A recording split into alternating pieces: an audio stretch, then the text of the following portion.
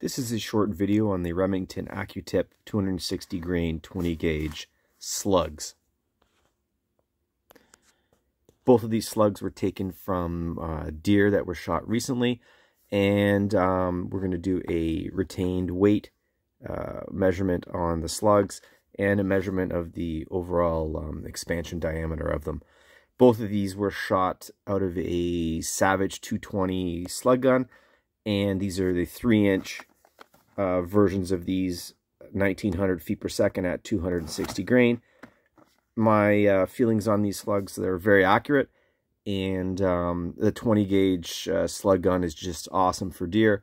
Both of these shots um, hit the deer in um, front shoulder area, resulting in an instant um, knockdown and kill.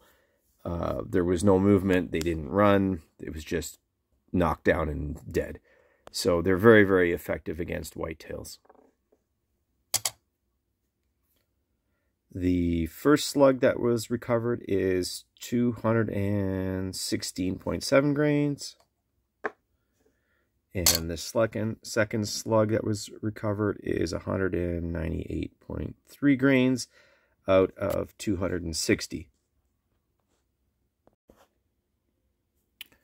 Overall largest uh, expanded diameter of the first slug, 19.12 millimeters.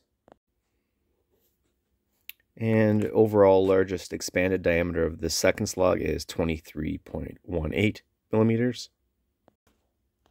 Uh, one of the slugs was taken from a about 135 pound doe, and the other one was taken from a 175, 180 pound buck. Uh, both shot at uh, sub 100 yards, but uh, this one was at 50 yards and this one was at about 60 yards.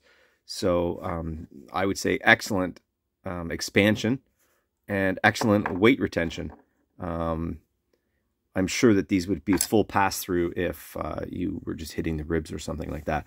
But the shoulder shots are just devastating with these with these rounds.